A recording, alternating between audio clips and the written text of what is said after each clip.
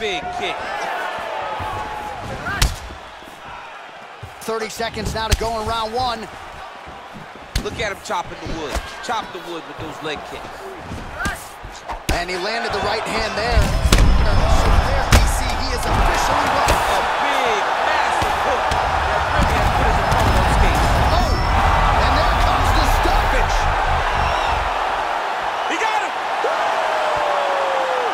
Again, the winner here was so aggressive with his onslaught that ultimately appeared as though the outcome was an eventuality. So if you're the referee, you got to protect the fighter, and I thought he did a good job of doing just that.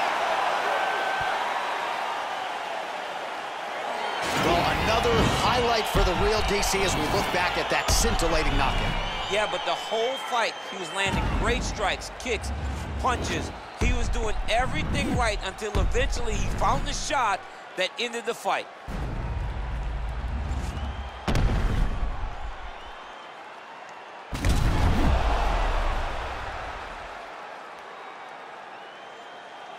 Now we go inside the octagon. Bruce Buffer with the official decision.